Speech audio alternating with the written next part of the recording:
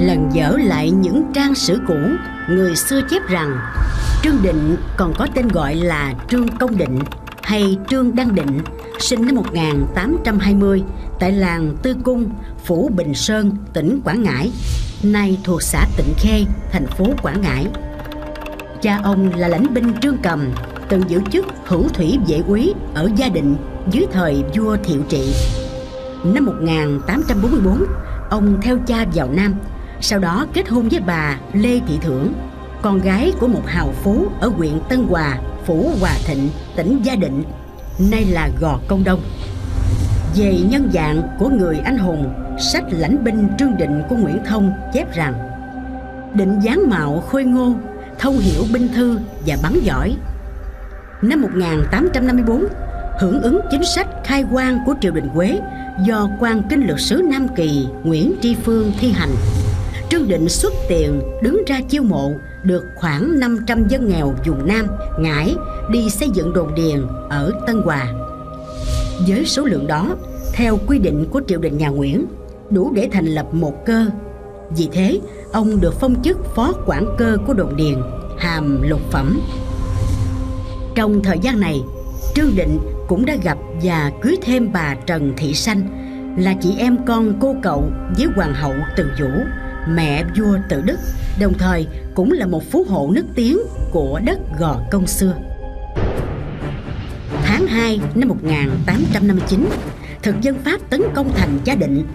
Từ Tân Hòa, Trương Định đưa binh đồn điền lên phối hợp với quân triều đình đánh giặc. Sau khi thành bị chiếm, ông rút về Thuận Kiều, lưu binh tiếp tục chiến đấu và giành thắng lợi trong các trận Cây Mai, Thị Nga. Đầu năm 1861, Pháp tấn công Gia Định lần thứ hai. Trương Định lại đem quân hợp cùng với binh tướng của Nguyễn Tri Phương phòng giữ chiến tuyến Chí Hòa. Khi đại đồn thất thủ, ông lưu về Gò Công xây dựng căn cứ kháng chiến cùng Lưu Tiến Thiện, Lê Quang Quyền chiêu binh ứng nghĩa trấn giữ dùng gia định định tường. Từ đây, Trương Định bố trí lại lực lượng, tổ chức nhiều trận đánh Pháp ở các vùng Gò Công, Tân An, Mỹ Tho, Chợ Lớn, Sài Gòn, Đồng Tháp 10 và kéo dài đến tận biên giới Campuchia. Nổi bật nhất là các trận tấn công đồn Gia Thạch, Rạch Gầm, Kỳ Hôn, chợ cũ Mỹ Tho và đặc biệt là cuộc tập kích vào chợ lớn, trung tâm kiểm soát của thực dân Pháp lúc bấy giờ. Kể về ông giai đoạn này, sử nhà Nguyễn chép Trương Định am hiểu võ nghệ, dũng cảm, mưu lược.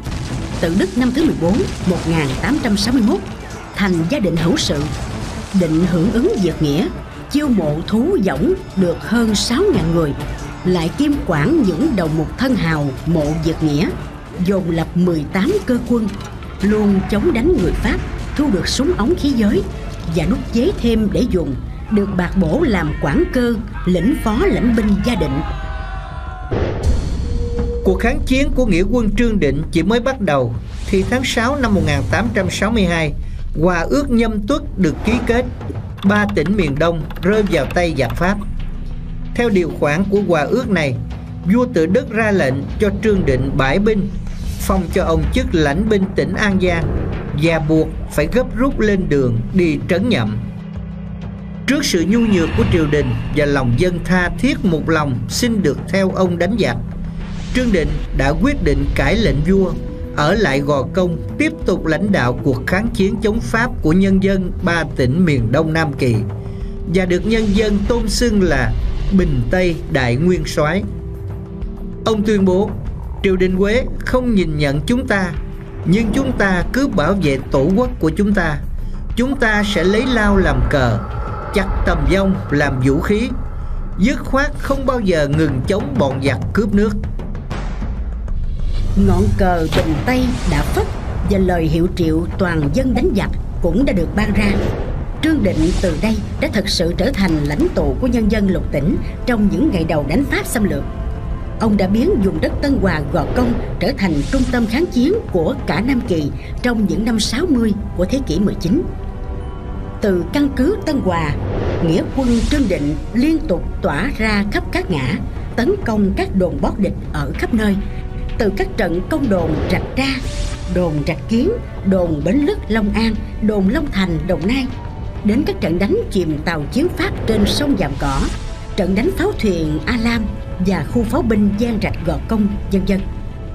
Nghĩa quân Trương Định đã làm cho giặc Pháp bao phen phải khốn đốn, mất ăn, mất ngủ. Sự lớn mạnh của nghĩa quân Trương Định buộc tư lệnh quân diễn chinh Pháp tại Đông Dương là Amiral Bonnard phải cầu cứu chính quốc. Đầu năm 1863, chính phủ nước này đã gửi sang hai diễn đoàn lính thủy quân lục chiến. Đô đốc Joles từ Thượng Hải cũng tiếp diện thêm một tiểu đoàn khinh binh Bắc Phi, nửa tiểu đoàn bộ binh Algeria và nửa đội pháo binh. Ngoài ra còn có sự tham gia của 800 lính Tagal đến từ Philippines. Viện binh đến, Bona buộc vua tự Đức phải gấp rút phê chuẩn thi hành hiệp ước nhâm tuất để triều đình Quế không còn chính thức giúp đỡ nghĩa quân Trương Định. Tối hậu thư của ông ta viết Nếu nhà vua không thuận, xứ này sẽ điêu linh. Ba tỉnh miền Nam còn lại lập tức thất thủ, rồi đồng thời với Nam Kỳ và Bắc Kỳ, nước ông sẽ mất. Ngày 7 tháng 2 năm 1863, Bona ra tuyên ngôn kết tội Trương Định và hứa sẽ thưởng 10.000 quan tiền cho ai giết được ông. Đến ngày 16, quân Pháp mở cuộc can quét vào căn cứ Tân Hòa, chọc thủng hai phòng tuyến Đông Sơn và Vĩnh Lợi, nhưng gặp thương vong lớn, buộc phải ngừng tấn công. Ngày 26 tháng 2, sau khi được tăng cường 3 tiểu đoàn cùng 7 chiến hạm và nhiều tàu chiến khác, quân Pháp bắt đầu tấn công tổng lực quy mô lớn từ nhiều hướng tràn vào trung tâm kháng chiến Tân Hòa. Thấy thế giặc mạnh, thủ lĩnh Trương Định bèn lệnh cho nghĩa quân rút qua rừng Lý Nhân để bảo toàn lực lượng, tiếp tục cuộc chiến đấu gian dở. Hay tin, ngày 25 tháng 9, quân Pháp bất ngờ tập kích căn cứ Lý Nhân. Trương Định cùng nghĩa quân thoát về căn cứ đám lá tối trời, truyền hình kháng chiến, làm dấy lên làn sóng đánh tay sôi nổi ở các vùng Mỹ Tho, Tân An, Gò Công, Cần Duột, Chợ Lớn và dùng giáp ranh biên hòa làm cho giặc Pháp càng sốt ruột ra sức truy tìm ông. Ngày 20 tháng 4 năm 1864, do có tên phản bội Quỳnh Công Tấn dẫn đường, quân Pháp tràn vào bao vây Trương Định tại đám lá tối trời. Trong lúc hỗn chiến, Trương Định bị thương nặng, biết không thoát được, ông trở gươm đâm thẳng vào bụng Tuẩn Tiết khi mới 44 tuổi. Cái chết của Trương Định là tổn thất lớn đối với phong trào kháng chiến chống Pháp của nghĩa quân và nhân dân ta lúc bấy giờ.